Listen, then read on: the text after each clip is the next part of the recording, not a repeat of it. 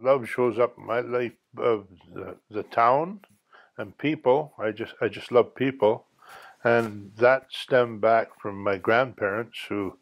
Uh, anybody that come to town and needed a handout, they were first to hand out. And uh, my grandfather always said, never let anybody leave your house hungry, and nobody ever did. So uh, I, I, I just love people and doing things for people.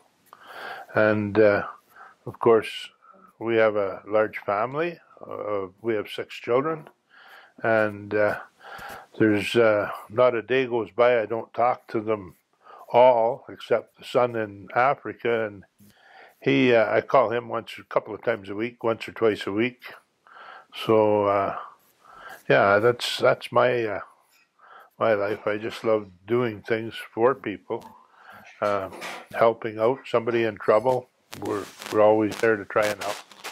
I've uh, had numerous occasions where people have been in trouble. We had one case a few years back where a lady and her husband were going east to a wedding. They rolled their truck over and uh, they weren't hurt, but they lost everything they had. They had a trailer and that.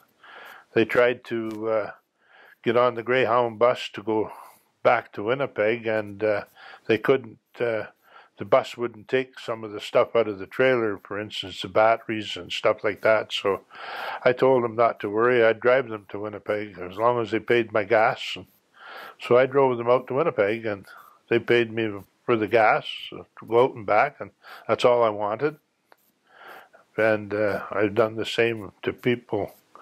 Uh, you know, if they have to go to Thunder Bay, somebody in trouble and they can't get out of town, well, I'll drive them to Thunder Bay where you catch an airplane or have a facility that can help them. And I love doing that.